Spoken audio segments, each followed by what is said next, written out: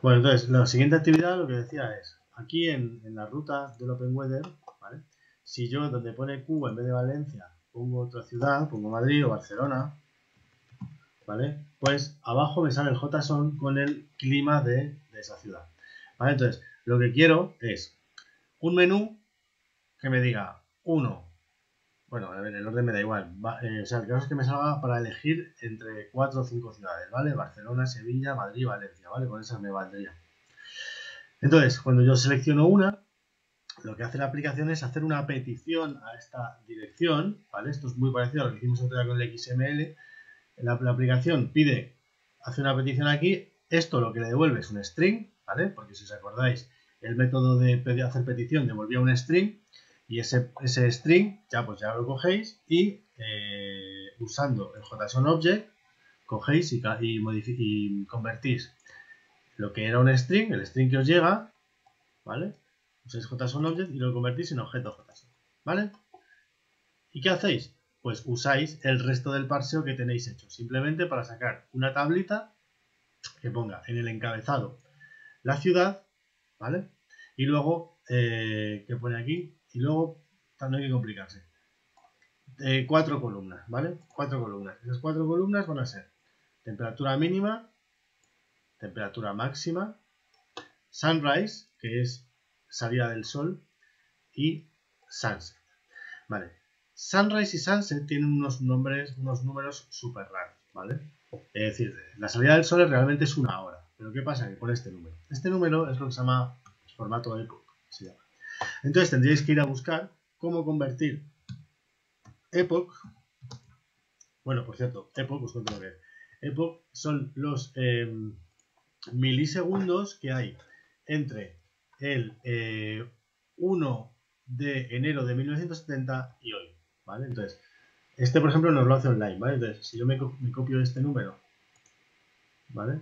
Lo pego aquí, ¿vale? Me dice que eso es el, el lunes 30 de marzo de 2020 a las 6 y 1 de la mañana, ¿vale? Pero vosotros no vais a usar este conversor online, sino que tenéis que buscar cómo hacerlo en Java, ¿vale? Entonces, pues aquí epoch to date o to time Java, ¿vale? Entonces, eh, os busquéis un poquillo la vida, habrá funciones, hay métodos que te lo hacen, ¿vale? Pues este sería uno seguramente, ¿vale? Entonces, em, me sacáis, ya os digo, en el encabezado el nombre de la ciudad, eh, que está, bueno, que está, ¿no? Que está, que os lo están pasando aquí, ¿vale? Madrid, Barcelona, Sevilla, ¿vale? Que lo tenéis vosotros. Luego la temperatura mínima, entonces cuatro columnas, una con temperatura mínima, ¿vale? Otra con temperatura máxima, em, otra con eh, sunrise y otra con sunset, ¿vale? Y con eso hacéis una tablita HTML. ¿Ok? Pequeñita. ¿Está entendido? ¿Hay alguna duda sobre esto? Sí, sí, yo tengo una duda. el, JSON lo cogemos igual que el otro día hacíamos el del XML, ¿no? Igual, haces una petición a esta dirección, ¿vale? A esta, solo que aquí pues a veces será Madrid, a veces será Barcelona, a veces será lo que sea, ¿vale? Te devuelve un, un, string igual que el otro día y cuando ya tienes el string, pues coges lo que decía y lo conviertes en objeto JSON con esto. ¿Vale? Se lo pasas como argumento y se convierte en objeto JSON. Vale, ¿más preguntas? ¿Cuántas ciudades sacamos? Cuatro. Madrid, Barcelona, Sevilla, Valencia si quieres. Tres o cuatro. No, eso no quiero que haya mucho jaleo. ¿Vale?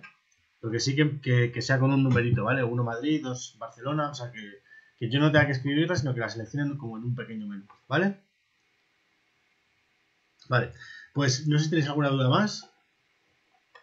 No, no. Vale, eh, lo que sí que quiero ¿Puedes pasar el código? Eh, es el del otro día. Vale, pero bueno, si quieres lo subo.